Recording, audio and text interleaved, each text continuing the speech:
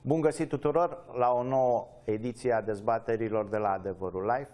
A început uh, târgul de carte Gaudeamus, uh, sunt uh, evenimente uh, numeroase, uh, vă invităm pe toți să mergeți să le vedeți până duminică, lansări numeroase vor fi acolo, dintre cele mai interesante, este într-adevăr un eveniment de primă mână, un eveniment cultural de primă mână, mai ales că ne aflăm într-o lume atât de complexă și atât de confuză. Poate prin cărțile pe care le găsim acolo încercăm să ne luminăm puțin și ne, să ne dăm seama încotro o ia această lume din ce în ce mai greu de înțeles, mai ales după cutremurul din Statele Unite. La nivel geopolitic, puțin știu acum care vor fi direcțiile de urmat, pentru că politica americană stă încă sub semnul incertitudinii. Spun încă pentru că președintele ales Donald Trump încă nu și-a definit liniile de politică externă, nu și-a construit echipa cu care va uh, conduce America și, bineînțeles, uh, va conduce lumea în sensul în care America este privită de lider al lumii occidentale, al lumii libere. Uh, ce se va întâmpla este greu de estimat, dar putem să încercăm să înțelegem care sunt resorturile din spatele confruntării care se duce și o vedem în ultimii ani între ceea ce înseamnă lumea occidentală și Rusia lui Vladimir Putin. O Rusie construită pe ideologia, între altele, a unui filozof despre care ați auzit, Alexandru Dugin. Alături de mine, Horia Roman Patapievici, mulțumesc pentru prezență și pentru uh, intenția de a discuta despre o carte pe care editura Humanitas o lansează la Târgu de Carte și este vorba de această carte, Statele Unite și Noua Ordine Mondială, o vedeți. Uh, este o carte mai puțin obișnuită, un fel de dezbatere, să spunem, între doi filozofi, filozoful și profesorul brazilian Olavo de Carvalho și, bineînțeles, Alexandru Dugin, acest promotor al uh, concepției euroasiatice care s-ar uh, situa pe poziții opuse față de ceea ce înseamnă liberalismul occidental, democrația occidentală și, bineînțeles, Statele Unite ale Americii. De ce publică Humanitas, îl publică pe Alexandru Dugin? Într-un moment în care știm foarte bine că propaganda rusă este extrem de virulentă și de prezentă în, în media occidentală, în spațiu public, în internet și, și așa mai departe. Pentru că noi trebuie să ne cunoaștem bine adversarii. Iar Dugin este autorul unei teorii articulate, delirante, uh, și care are vocația de a fi uh, teoria uh, justificatoare pentru planul de renaștere a Imperiului Rus. El reprezintă sau propune o sinteză a teoriilor politice care au însângerat secolul 20 le vrea expurgate de câteva excese, cum le numește el, dar în esență nazismul în ceea ce are el bun, spune Dugin, comunismul în, care, în ceea ce are el bun, parte din uh, capitalism în ceea ce are el bun, trebuie reunite sub o sinteză geopolitică majoră care să fie centrată pe renașterea uh, statului rus, dar în același timp pe renașterea mesianismului rus. Pentru că Dugin este îmbibat de varianta romantismului uh, occidental care în Rusia în secolul XIX a, venit, a devenit slavofilism și în același timp de varianta de materialism occidental de la mijlocul secolului XIX care în Rusia a devenit nihilism. Se simte în el pasiunea nihilistă pe care Turgenev a descris-o dar ea este pusă acum nu în slujba vechiului comunism, ci în slujba uh, ideii eurasiatice, care, pe care aș defini-o scurt ca fiind uh, tot ce este antioccidental sub standardul Rusiei. Nu numai uh, antioccidental, aș putea spune, uh, antiliberal, anti-democrat. Pentru el Occidentul, înseamnă... Uh, Antidrepturile individuale, să spunem, da, ale omului. Înseamnă, el definește foarte confuz uh, Occidentul, când cultural, când religios... Când geopolitic. Când geopolitic, uh, când prin instituții. În orice caz, democrația liberală pentru el este răul absolut, dar rău absolut este în același timp și modernitatea, și postmodernitatea, cărora le declară război și spune, în limbajul lui vitriolant, uh, animat de ură, o mică paranteză, uh, ura ca uh, sentiment uh, politic public a fost complet delegitimată de practica liberală occidentală. Ei bine, el o reactualizează. Ura este un sentiment politic legitim după el de mobilizare. Ori ura împotriva modernității și a postmodernității, citesc din el, trebuie să conducă la distrugerea, la nimicirea Occidentului. Păi, sunt, ura a fost o forță masivă în ceea ce a însemnat atât nazismul cât și Clar, deci bolșevismul. 20... Adică cele două ideologii totalitare s-au bazat bazat, bazat din plin prin mobilizarea pe care ura o dă, adică naziștii au urât profund și au îndreptat ura împotriva da. evreilor, a capitaliștilor și așa mai departe, și a democrației împotriva uh, dușmanilor de clasă, să da. spunem. A... Și, și amândoi uh, erau... Ceea ce a dus la efectul genocidar al ambelor, uh, a, a, acțiunea genocidară a ambelor uh, ideologii. Și amândouă, deși difereau în, uh, parțial în dușman, aveau unul comun și asta era democrația capitalistă occidentală. Pe care o urau profund ambele, ambele. ambele sisteme. Și aici intervine o dilemă. Dacă gândirea lui Dugin este atât de nocivă, atât de otrăvitoare, atât de uh, anti, uh, să spunem, interese împotriva intereselor noastre, ca, ca stat aici, la această frontieră, de ce o publicație. Nu, poate, nu există dilema asta, domne, răspândesc uh, nocivitatea, ideile uh, nocive ale acestui om în, uh, într-un spațiu cultural românesc? Nu, pentru că replica lui Octavu de Carvalho este excepțională este poți să uh, nu fi de acord cu el în anumite lucruri bunăoară despre, în privința rolului pe care îl joacă Aș vrea să oligarhia. precizăm uh, cine este Carvalho. Dugin am, e mai cunoscut și am și vorbit, dar cine este filozoful brazilian? Și după aia ne întoarcem la idee, da. ca să știe și uh, cei care ne primesc. L-aș defini în felul următor, uh, foarte polemic. Este contrariul absolut al unei persoane instituționalizate. Dugin este profesor la Universitatea de Stat din Moscova, este uh, ideologul uh, uh, regimului lui Vladimir Putin, este un om care când se prezintă pe sine, are un Kalashnikov în mână și pe fundal are un tank rusesc. Deci este omul care are în spate puterea Rusiei, și are în mână argumentul Rusiei, Kalashnikov. Care nu e deloc intelectual. Da. Absolut deloc. În același timp, el este profesor de sociologie la Universitatea de Stat din Moscova.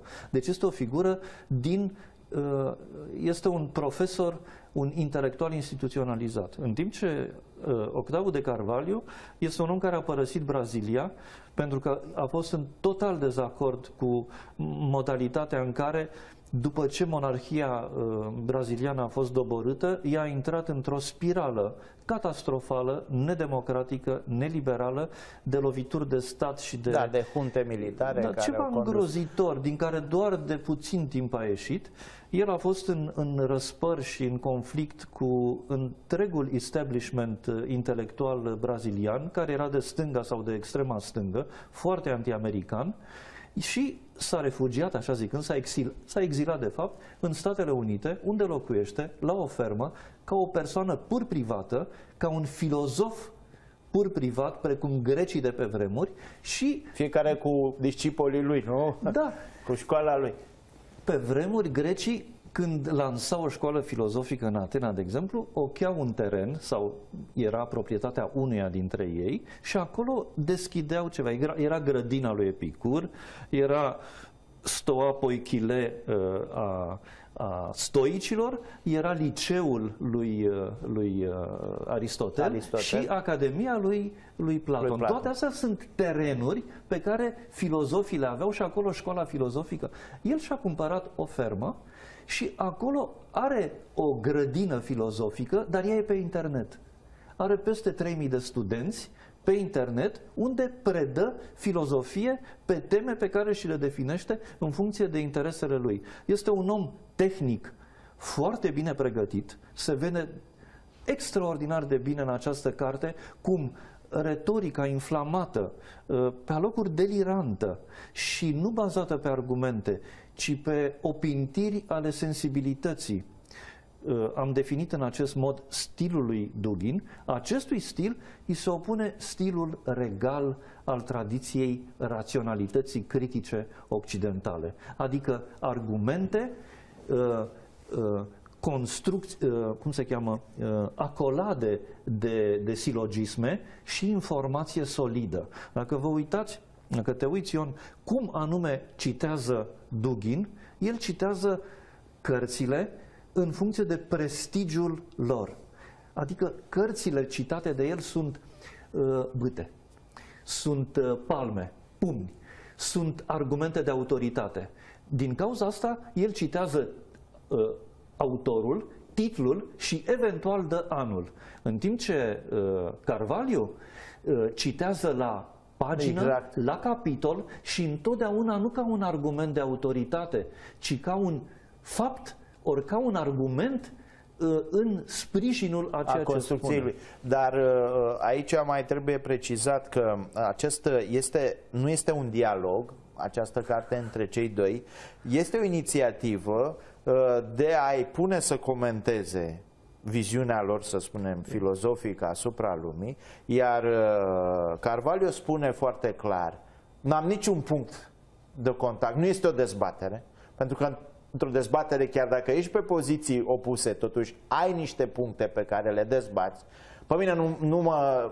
Prăpastia dintre mine și Dugin este de, ne, de netrecut, e, e de neacoperit. Deci nu e propriu zis o dezbatere, dar a acceptat să aibă acest schimb pe internet, cum spuneai foarte bine. Fiecare și-a pus uh, punctele de vedere pe internet și le-au uh, uh, văzut, le-au contraargumentat și au uh, venit cu concluzii la final. Ca să știe toți cum a fost construită această carte. Cei doi n-au fost niciodată față în față, nu, nu s-au întâlnit niciodată și cred că nici n-ar avea ce să spună dacă s-ar întâlni față în față. Ca să închid răspunsul la întrebarea ta, Uh, referitoare la de ce editura Humanitas a publicat această Da, o editură care cultivă cu totul și cu totul liberale. alte valori. E vorba de valorile liberale. Pe de o parte, să cititorul român să se confrunte cu expunerea uh, intelectuală a unei doctrine care este profund pernicioasă pentru valorile în care noi credem și pentru statalitatea românească,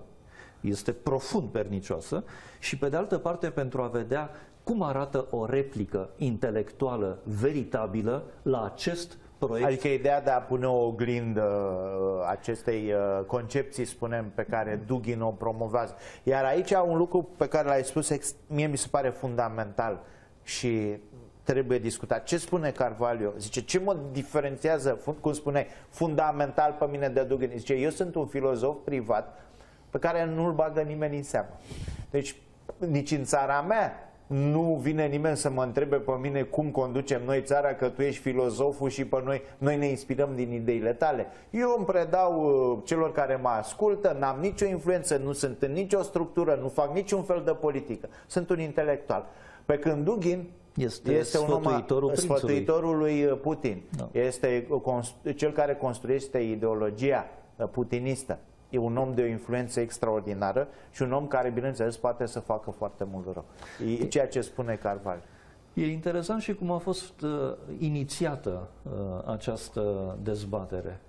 Uh, un grup de tradiționaliști și prin asta pentru cei care ne privesc trebuie spus ce înseamnă. Sunt adepți ai teoriei lui Genon sau a lui Julius Evola, uh, Uh, oameni care pun în centrul reflexiei lor ideea de tradiție, așa cum a fost definită de uh, René Guénon. Deci, câțiva tradiționaliști au vrut să-i pună împreună pe cei pe care îi considerau reprezentanții în teorie politică a două orientări diferite, dar pornind de la studii tradiționale. Pentru că uh, Olavu de Carvalho s-a ocupat în tinerețe de studiile tradiționale. Uh, Iar acest Dugin se revendică în continuare din Ebola Evident. și din uh, genom. Păi, își construiește, de fapt, această Își construiește concept. discursul antioccidental, pentru că și genom și Ebola au fost foarte antioccidentali. Uh, dar nu în felul în care îi decriptează sau îi folosește, mai degrabă îi folosește manipulatoriu uh, uh, Dugin. Și în mod complet greșit, absolut greșit, cei doi au fost puși în dialog. Exact. Nu exista între ei absolut, absolut nimic comun. Rezultatul, din punctul meu de vedere, este un splendid dialog eristic, în specia uh, antichității, în care nu e un dialog al pozițiilor care se înțeleg una pe cealaltă, ci un dialog al, uh, al, al conflictului uh, care nu, uh, da, este, nu are nicio legătură cu...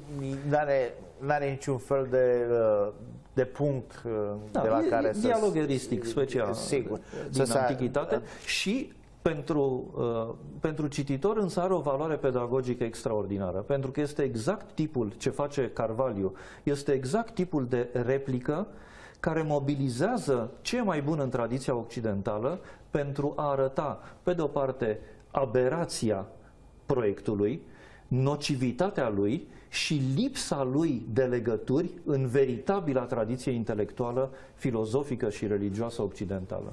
Dar uh, aici, dacă discutăm despre, uh, spuneai că este o doctrină pernicioasă, periculoasă pentru ceea ce înseamnă statalitatea românească. românească. Clar. De ce?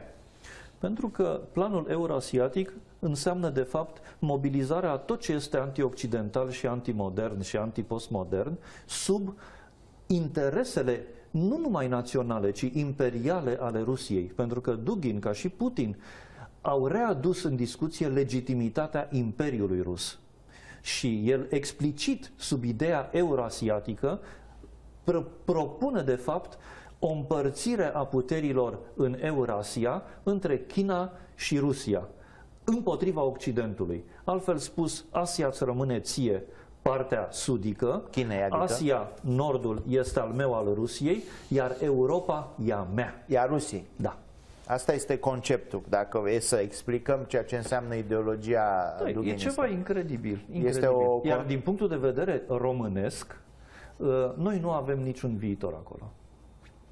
Adică viitorul nostru este să fim uh, parte din Rusia. Este ceva care Uh, nu numai din punct de vedere românesc, din punct de vedere european, este inacceptabil. Exact, pentru că vorbim despre o întreagă Europa pe care uh, Dugin și Putin o văd uh, slabă, ușor de manipulat, ușor de influențat, uh, pentru că vechea teorie, Occidentul e slab, e decadent, a da, ajuns da, să se... E, e decadent, pentru că e da, decadent. E decadent pentru și asta că... din cauza uh, filozofiei liberale, a democrației liberale, care o duce într-o fundătură și atunci singurii păstrători ai tradiției adevărate este uh, Rusia, a treia Romă, îngemânarea uh, acestui nou mesianism care salvează lumea, de fapt salvează uh, lumea integrând-o intereselor Rusiei. De fapt, în spate fiind, de fapt, uh, totul fiind acoperirea nu, interesului eu, geopolitic al Rusiei. Nu numai în spate. În spate, în față, față, în dreapta și în stânga. Sus și jos. Adică totul împachetat în Rusia. Este, este extraordinară această construcție din punct de vedere al promovării intereselor unei puteri care își revendică în momentul ăsta un nou statut. Pentru că uh, probabil că și Dugin și Putin au în comun ideea că prăbușirea URSS a fost o catastrofă. Păi Putin a spus-o. Putin Cea mai mare spus catastrofă geopolitică a secolului 20 este prăbușirea Uniunii Sovietice. Și ce a însemnat de fapt prăbușirea Uniunii Sovietice? Eliberarea dacă uită... popoarelor. Exact. Eliberarea unor uh, popoare care nu aveau nicio intenție să stea în URSS, care și-au căutat întotdeauna libertatea și în momentul în care au avut ocazia au luptat pentru ea și au obținut-o. Să nu uităm că popoarele baltice, toate celelalte s-au desprins, au fost revoluții naționale, Dar multe tot, dintre tot ele. Europa Centrală și de Est, Nu mă, ref, mă refer la URSS, URSS, nu la uh, tot lagărul socialist uh, cu statele care, socialiste care nu făceau parte din uh, din Uniunea Republicilor Socialiste Sovietice, pactul de la Varșovia. Deci, deci construcția s-a prăbușit, dar pentru ei este din contră, este o catastrofă. Opoziția pe care o construiește uh, afirmația lui Putin că cea mai mare catastrofă a secolului 20 este prăbușirea Uniunii Sovietică, Sovietice este că eliberarea popoarelor de sub dominația sovietică reprezintă un rău. E incredibil. Deci este o afirmație, de fapt, scandaloasă din toate punctele de vedere. Nu numai am putea spune, da, regretă pierderea importanței pe care uh, statul sovietic și deci elementul rusesc l-a avut uh, în timpurile acelea. Dar implicit este vorba de regretul nerușinat față de eliberarea unor popoare care atât au așteptat prăbușirea Uniunii Sovietice ca să iasă de sub tutela și dominația ei. Și care oricum au căzut pradă, să spunem, Uniunii Sovietice în urma unor catastrofe reale la nivel mondial. Mă refer la primul război mondial, la venirea, apariția Uniunii apariția Sovietice, Uniunii Sovietice și după aceea dominație pe jumătate exact. în Europa după al doilea, al doilea război, război mondial. mondial în urma aranjamentelor de la sfârșitul războiului. Însă uh, aici uh, știm foarte bine și vedem cine uh, dorește poate aprofunda ceea ce crede Dugin și cum vedem dacă ar fi să folosesc un termen la mod acum, dar de peste ocean, măreția Rusiei, din nou. Problema este, și cred cu ei, să spunem, noi români suntem obișnuiți. Avem experiența Rusiei. Ne temem de Rusia de mult timp. Am avut în secolul XIX, am fost de la ocupați, înființare, de la cred înființarea... că de, de 5 ori am fost ocupați în exact. secolul XIX de ei. Adică vorbim imediat, să spunem, de unirea Principatelor, vorbim de 1812, pierderea păi, atunci au venit și nu au mai plecat, au stat câțiva ani și au rămas. Dar problema este uh, ce se întâmplă cu Statele Unite? Pentru că aici răspunsul uh, uh, îl așteptăm replica Occidentului, să spună, a valorilor în care noi credem și la care am aderat ca societate, pentru că aparținem acestui spațiu. Începem să ne îndoim cu privire la cursul Statelor Unite sub Donald Trump. Și aici e, e absolut legitim să ne întrebăm ce va face un președinte al american care l-a lăudat pe Putin în campania electorală. Da. Nu știu. Că e, da, titlul și cărții este Statele Unite și Noua Ordine Mondială. Deci antiteza celor două. Noua Ordine Mondială propusă de Dugin și de Putin. De Rusia, să spunem că nu mai Dugin e ideologul uh, regimului uh, de la Moscova. Și, bineînțeles, ideologia uh, practică a Statelor Unite de a fi, cum spuneam, liderul lumii libere. Da. În titlul acesta, uh, Statele Unite și Noua Ordine Mondială, uh, este făcută o antiteză între uh, propunerea de nouă ordine mondială pe care o are Dugin, care este catastrofa pentru noi eurasiatică și pentru lume în general, și Statele Unite văzută ca monopolul de putere de după, al doilea, de după prăbușirea Uniunii Sovietice, respectiv câștigarea războiului rece de către democrațiile liberale occidentale. Ceea ce contestă Dugin este o lume unipolară. De fapt, ceea ce el contextă este Pax Americana. Pax Americana este, de fapt, nu dominarea lumii de către Statele Unite, cât răspândirea în lume, într-o ordine uh, uh, de tip pace americană a valorilor modernității și postmodernității. Ceea ce el urăște din tot sufletul este de fapt ansamblu de valori pe care se sprijină sau prin care se legitimează puterea americană. Și toată construcția americană la nivel mondial din 45 până în zilele da, noastre. Și inclusiv construcția în Europa a Uniunii Europene. Toate acestea sunt pentru ei, uh, pentru el, dușman. Uh, ce se întâmplă acum cu Statele Unite uh, este un lucru pe care îl, îl privim cu, cu mare interes. Eu cred că, că afirmațiile de politică externă riscante, și citez aici unul singur, al lui Donald Trump din timpul campaniei, în dezbaterea a doua, el a adoptat definiția conflictului din Siria, care este aceea propusă de Putin, respectiv că există un, uh, un guvern legitim cu care trebuie negociat și ăsta este regimul Assad, Assad, pe care rușii îl sprijină, Iar opoziția a adoptat Trump punctul de vedere al lui Putin că este în mod indiscernabil uh, contaminată cu terorism. Da. Și că...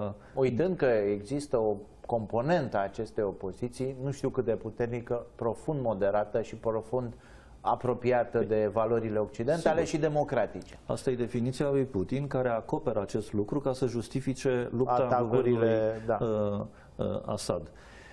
Uh, acest lucru l-a făcut uh, Trump uh, împotriva politicii guvernului american, care tocmai sprijină partea non-teroristă din opoziția la guvernul Assad și ideea că există o alianță între teroriști și opoziția la guvernul Assad este o idee rusească. Da, pe și care Trump, pe cale de consecință, toți cei care luptă împotriva regimului Assad trebuie lichidați. Și trebuie identificați cu teroriștii. Da, fiind în aceeași oală. Da. E, asta este un punct de vedere... Nu, optica rusească vreau să spun. Da, da, e un punct de vedere greșit pe care cred că uh, Trump îl va revizui. Uh, sub impactul faptului că orice președinte vine la Casa Albă, el intră într-un dispozitiv. Uh, un stat este ca un uh, cockpit de uh, navetă spațială, în care uh, ocupi un loc, iar locul acela nu-l faci tu. El este făcut de instituțiile uh, în care el își are locul și instrumentele prin care uh, acționezi asupra lumii și prin care vrei să uh, traduci în viață planul tău de guvernare este limitat și influențat de natura pârghilor care stau la dispoziție. Ori natura acestor pârghii este profund liberală, democratică și constituțională în Statele Unite. Însă rolul președintelui este extrem de important este pentru foarte că important. e la butoane, cum se spune în România, da, și acționează, uh, direcționează ceea ce definește înseamnă acest... direcția. Da, definește, definește direcția. direcția. Exact. Ori aici direcția Aici este marea problemă. Încotro se vor duce Statele Unite cu Donald Trump. Sigur, avem experiența republicanilor. Partidul Republican a fost întotdeauna o voce puternică în ceea ce înseamnă... O voce non-izolaționistă, non-izolaționistă intervenționistă, anticomunistă în timpul războiului rece și adeptă a militantismului democratic, adică a exportului de democrație liberală. Da, pe baza unei idei tot de origine creștină. creștină a exportului de valori, astfel încât să trăim într-o lume mai bună. Da. E adevărat că Fukuyama a mers spre utopie văzând o lume liberală care se va unifica în democrația uh, noastră de tip occidental. Dar citit. totuși cred că uh, aruncarea peste bord a acestor idei nu cred că până la capăt este favorabilă. Pentru nu că, într-adevăr, uh, și nu vor fi aruncate până la capăt. Uh, dacă este să analizez puțin uh, machiavelic uh, admirația multor americani față de Putin, aș spune că nu este o admirație față de conținutul politicii rusești, ci față de leadership-ul lui Putin și în felul ăsta ei afirmă în mod polemic o dezaprobare față de ceea ce ei numesc slăbiciunea președintelui Barack Obama. De ce Obama. ai admira ca american un președinte autoritar care nu e respectă vorba, valorile de... democrației în care tu crezi ca american sau pretinzi.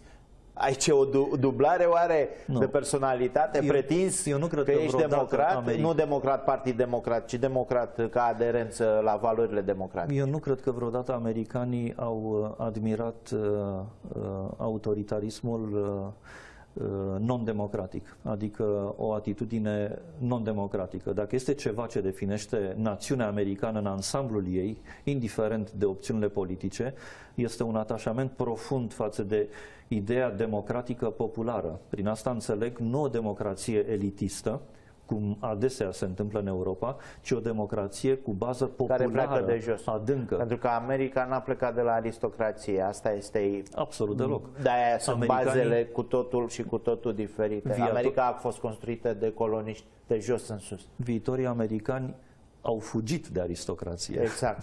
Și au fost prigoniți, să spunem, pentru da. credințele religioase. Da, da. Dar acum, uh, deci, într-adevăr... Da, dacă mă lași puțin. Da, te rog. Vreau pur și simplu să, să punctez faptul că uh, orice ar, Americ, uh, ar, Americ, uh, ar admira americanii uh, uh, ca leadership în străinătate, nu se referă la baza indiscutabilă a regimului lor politic, care este democrația bazată pe, uh, pe popor. We, the people, este fundamental. Ba, este uh, fraza cu care uh, începe uh, in, Constituția intrat Americii. în instinctele lor politice. Deci nu-mi imaginez vreun american care să admire uh, autoritarismul uh, politic al lui Putin. Ceea ce ei admiră, unii dintre ei, este uh, în oglindă li, uh, leadership-ul unui lider, prin contrast cu absența de leadership al lui Barack Obama. Adică, să spunem, efectul Trump vine după o, o guvernare de 8 ani a lui Obama, care a fost percepută de americani drept o guvernare slabă? O guvernare slabă, da. Și în Siria, cel puțin, uh, uh, este, a arătat că este o guvernare slabă pentru că în timpul lui mandatului lui Barack Obama nu numai că rușii au căpătat un rol cheie pe care nu-l aveau deloc în Siria, dar ei sunt o prezență militară și cu baze permanente acolo.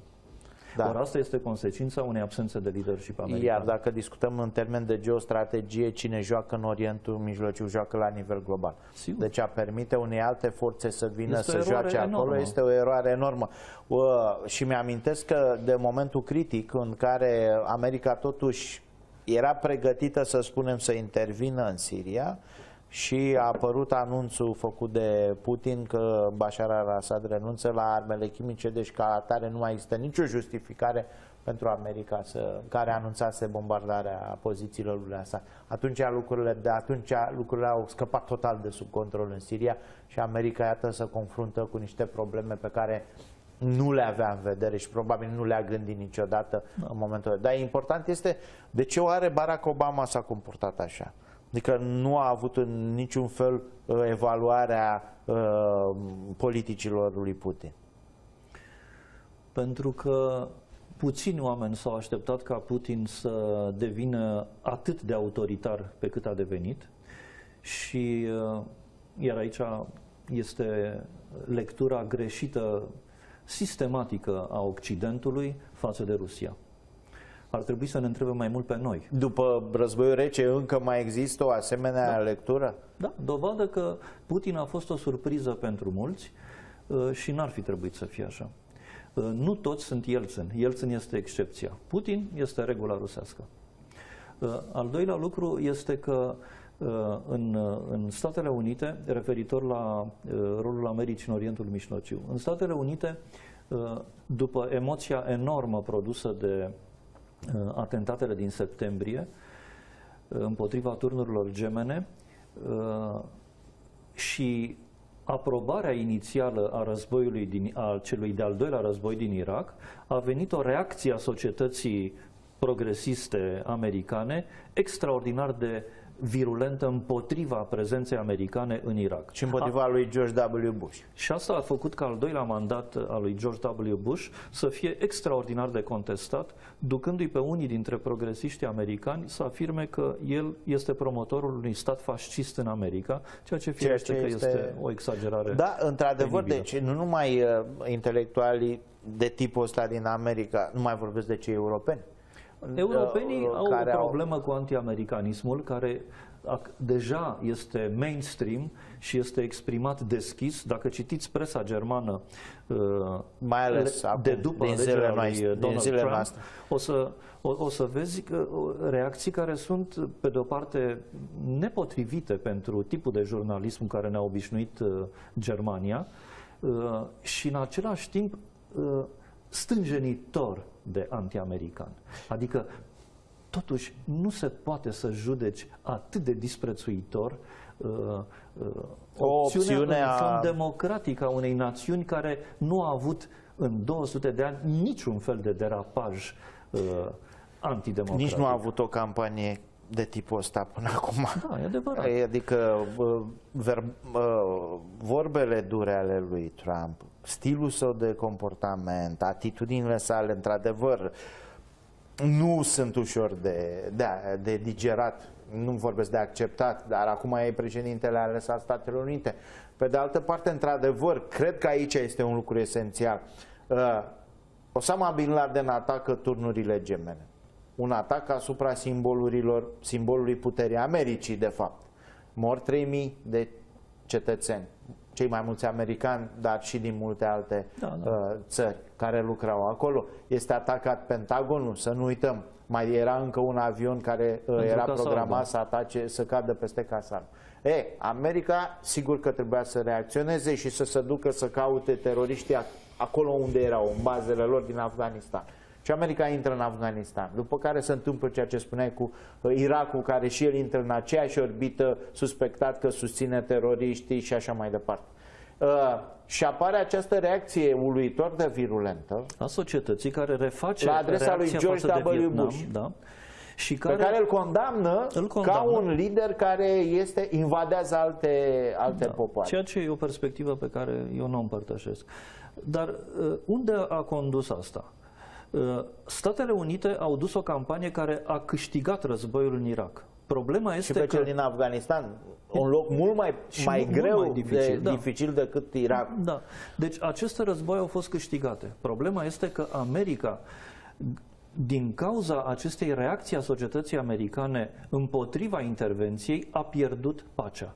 Pierzând pacea, a, cre- a, a, a, a, a creat un gol de putere care în politică știm, în geopolitică știm foarte bine că, că este umple. imediat umplut de către uh, cel care are inițiativa. Iar cel care a avut-o este Putin. Aici, uh, pentru că alegerea lui Obama, uh, deci fapt apariția lui Obama în prim plan și alegerea lui ulterior este o reacție la mandatul Bush pentru că America era într-o pierdere de imagine atât de importantă. Țineți minte și chiar filmele lui Moore și tot ce se vorbea Bun, despre. care sunt delirante și mincinoase. Da, dar au făcut deci uh, ele, carieră. E, da, Sigur știu, că dar da. ele au luat și Oscar. Dar ele intră la capitolul calomnii dovedibile. Exact, dar vreau să spun că pe acest fundal de pierdere de imagine la nivel uh, mondial, atunci America a găsit o soluție sau să spunem o parte din establishmentul american venind cu o persoană cu totul nou. Venim cu Obama, iată un alt model de a uh, aduna națiunea, primul președinte de origine afroamericană, democrat, cu altă imagine, smile, uh, pacifist, numai America aia războinică, pusă numai pe intervenții cu arma la picior, cu elicopterele decolând.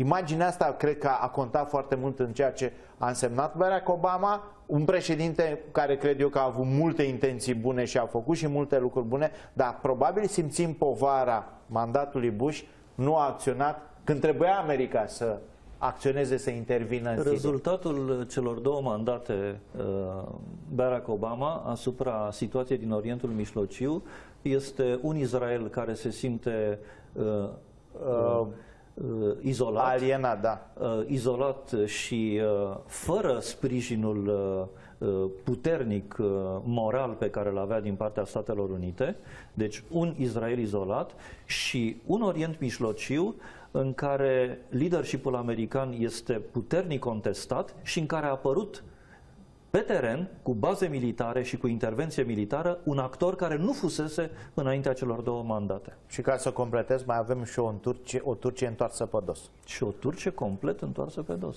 Deci rezultatul din punctul de vedere al geopoliticii uh, va valorilor în care noi credem, în acea zonă, uh, cele două mandate Barack Obama sunt catastrofale.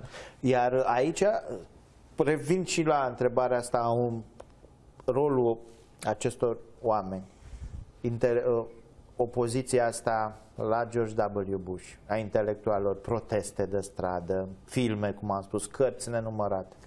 Plus adică America era vinovată că intervine atunci și acum constatăm că de fapt America are ce să-și reproșeze pentru că n-a intervenit. Pentru... Și atunci ipocrizia asta, să spun intelectuală, iată că își dovedește efectele cât se poate de pe termen mai lung. Adică poți să fii împotrivă la un moment dat să ai niște idealuri din astea de să stea America acasă. Să vede că atunci când America stă acasă e mai rău decât atunci când America intervine pe teren. În mod sigur. Pentru în mod că, sigur, e și uh, convingerea mea. De fapt, armata americană sigur că slujește intereselor Americii, dar America are interese care țin de uh, democrație, de No- valori, de promovarea Noi înșine ne libertății. putem identifica cu interesele Americii, pentru că sunt interese care nu ne strivesc pe noi, ci din potrivă promovează uh, agenda statalității românești. Păi, se și vede, pentru că am fost pe teren acolo, nu în Afganistan, în cel, în cel mai Am lung fost- război, Am pe fost care combatanți loiali. direct și, Și și, loiali. apreciați. Da, și da. nu trebuie să trecem cu vederea pentru Nu. că este important. Și cât a fost în perioada controversată a mandatului lui George W. Bush, totuși uh, România niciodată nu a dat semne de ezitare. Și mă bucur pentru asta cu o mică sincopă. Păi nu, o sincopă pe care trebuie să o Să o reamintim. spunem. Ministrul armatei din acea Și perioadă premierul. Și premierul Tăricianu care au dispus retragerea unilaterală. Exact. Asta este ceva in- incalificabil. Exact, fără a După părerea anunța mea, este în partenerii. altă trădare. Punct. Fără a anunța partenerii americani din, a- din vremea aia. Dar zic, trecând peste această sincopă Bun, și dar nici autoritățile- politică, mă refer la sincopa politică, nu la sincopa armata Nici autoritățile românești responsabile. Președintele nu a fost informat de această decizie a premierului. Deci este ceva... Nu, a fost anunțată până e o pusă defecțiune masă. în statul român gravisimă. Exact. Mm, Bine că lucrurile nu au mers mai departe, dar vreau să spun că ceea ce a însemnat a- implicarea României a fost uh, cât se poate de, de corectă, de hotărâtă și de uh, Loială și loială. competentă militar. Și competentă militar, ceea ce s-a văzut și în, sigur cu sacrificii. Da. Adică am făcut Sigur. lucrurile astea cu, cu sacrificii importante și cred că țin, trebuie să ne gândim acum ce se va întâmpla. Oare aici avem două, două opțiuni. America lui Trump merge spre izolaționism, ori America lui Trump merge spre, spre politicile tradiționale ale Partidului Republican, despre care am amintit. Implicare, uh, prezervarea intereselor Americii în lume, uh, euroatlantism, de pildă. Aici este, uh, cred eu, marea întrebare. Spre ce va bascula uh, uh, Trump? Pentru că Barack Obama, prin neintervenția sa, a generat niște efecte care sunt împotriva intereselor Americii În în, mod momentul clar. de față. Eu nu pot decât să-mi exprim speranța că uh, euroatlantismul politicii externe americane va fi întărit și nu trădat de către președintele ales uh, și că nu va susține și ca președinte punctul de vedere rus în chestiunea Siriei și a Orientului Mijlociu. Și a că- Ucrainei. și a E Ucrainei. foarte important. Și că va revizui, va revizui atitudinea Americii față de sprijinul necondiționat față de statul Israel. În privința noastră, Ion, uh, interesul național românesc stă sau cade cu o puternică poziție americană în Europa. Lucrurile sunt uh, extrem de, de importante și de grave, adică nu ne putem juca. Pentru că uh, established democratic românesc, așa cum e el, nu spunem că e perfect sau că... Dar totuși există, nu putem să comparăm România de acum cu România din 90 sau... Nu, nu. Evident că a existat o evoluție pentru că România face parte din Uniunea Europeană și face, e aliat strategic cu Statele Unite. Asta este foarte clar. Ne-a făcut foarte bine. Ori, în lipsa acestui aliat strategic, eu nu cred că establishmentul democratic în România rezistă. Nu cred. Pe termen lung. Pentru că avem experiența interbelică. În momentul în care centrii de putere în Europa s-au schimbat și totalitarismul a devenit stăpân în Europa România și în Rom- a- a România abandonat a democrația. abandonat, exact, a abandonat democrația. Dar ceva mai târziu decât alții, alții s-au grăbit. În 38 a făcut-o în februarie. Exact, uh, dictatura Când Carol și-a făcut uh, statutul lui uh, constituțional, Exact. abolind Constituția din Da, 23. după ce adusese un guvern uh, de extremă, a- aproape de extrema dreaptă, da. Goga Cuza care și, a introdus primele legi rasiale și a, în consens cu ceea ce a făcut și Italia la Exact. inspirația germană în 38, în consens cu... Italia neavând până atunci o politică antievreiască, uh, la inspirația, într-adevăr, oportunistă a Germaniei naziste antisemite. Da? Ca să nu mai vorbim și trebuie să spunem de asemenea că după 45 s-a întâmplat același lucru când foarte mulți au trecut da. imediat de partea ocupantului pentru a-și uh, obține posturi, privilegii, putere și așa mai departe. De, deci pentru noi ecuația unei slăbiciuni americane în Europa uh, cu uh, uh, un activism uh, pro-imperialist rus în Est este o formulă uh, catastrofală. Este o formulă uh, catastrofală și mai avem un punct nevralgic, Europa. Europa de care depindem, care este Europa noastră, a tuturor. Avem ghinionul unui președinte de Comisie Europeană incompetent, după părerea mea, uh, pro-rus, uh, un ministru de externe al comunității europene, un comisar deci, de politică externă, doamna Mogherini, care este și ea o veche comunistă, cu simpatii prorusești, este o situație dezastroasă. O situație, o, o, o Europa în care leadershipul uh, german uh, nu mai știm ce să așteptăm de la el, nu, nu știm cum funcționează. În memoria noastră istorică, Ion, toate alianțele dintre Germania și Rusia s-au reactualizat și înțelegem perfect teama, frica, groaza Poloniei față de o înțelegere Germania-Rusia. Deci Ceea toate ce e valabil și pentru România și pentru, și pentru țările România. Baltice în da. egală măsură. Da. Deci războiul mondial nu trebuie să uh, rămânem la varianta în care germanii naziști sunt exclusiv responsabili de declanșarea lui. Războiul a fost declanșat de pactul Ribbentrop-Molotov, care s-a consumat pentru prima oară în consecințele lui în septembrie 1940, când de la vest Polonia este invadată de Germania și de la est, după 15 zile, de către Uniunea Sovietică. Și România pierde Basarabia. Iar România în 40 pierde, să le recapitulăm pe cele trei, Ion, pierde Basarabia uh, și Bucovina și regiunea Herța, care a fost creionul Bond al lui Stalin, uh, fără luptă, ca urmare a ultimatumului lor.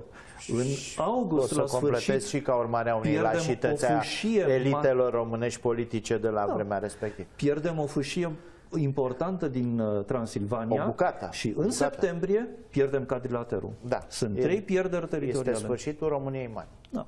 Și uh, ruperea ei în, între cele două forme de... Uh, Consecințe directe ale pactului Ribbentrop-Molotov. Și ca să revin la termenii de azi, tot pentru că două puteri voiau o nouă ordine mondială. Da, da. Germania lui Hitler Dumnezeu. și URSS-ul lui Slav vorbeau despre reașezarea lumii da, da. Uh, într-o nouă ordine mondială, de fapt, ca să stăpânească fiecare sferele lui uh, de influență și iată ce s-a întâmplat când au ajuns la un acord.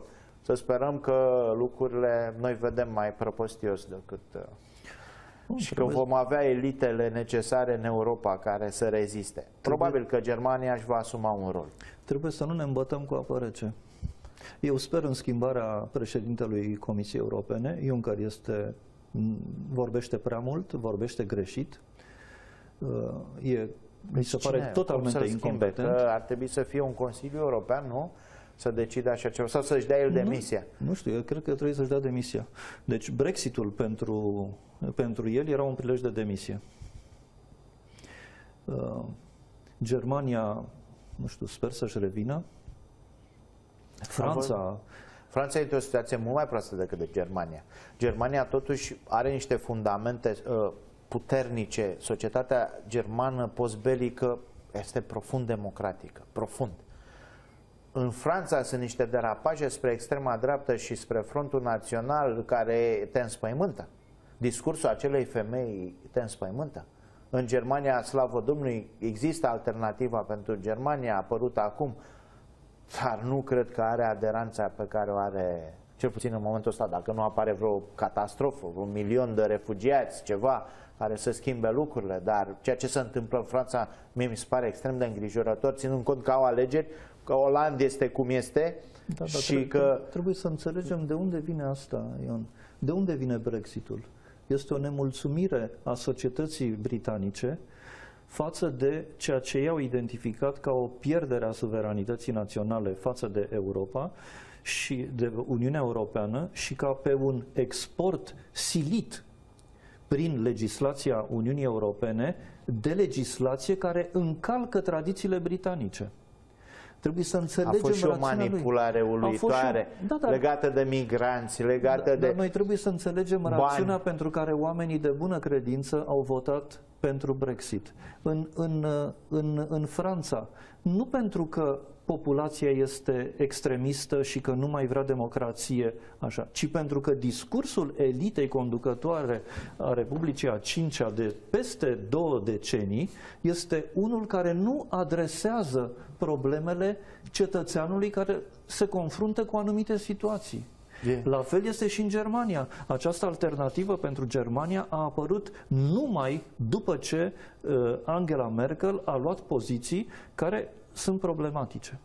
Un viitor uh, incert, într-adevăr, pentru cine vrea să înțeleagă mult din uh, filozofia lui Alexandru Dugin, cel care și din modul în care îi se poate răspunde. Și din ei... modul exact, pentru că aveți și contraponderea, filozoful brazilian Olavo de Carvalho, Uh, între acest nu e un dialog, nu e o dezbatere, este o contrapondere de fapt la această ideologie pe care Horia Roman Patapievici o califică drept extrem de periculoasă pentru România și pentru statalitatea românească, ideologia euroasiatică promovată de puterea de la Moscova.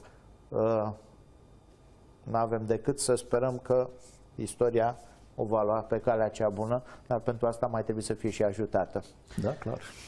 Mulțumesc foarte mult, Horia Roman Patapievici, pentru această discuție. Mergeți la Târgu de Carte, uh, este un prilej unic, într-adevăr. Uh, duminică la 4 e lansarea Duminică cărții. la 4, foarte bine. Deci duminică la 4 la standul Humanitas. Humanitas.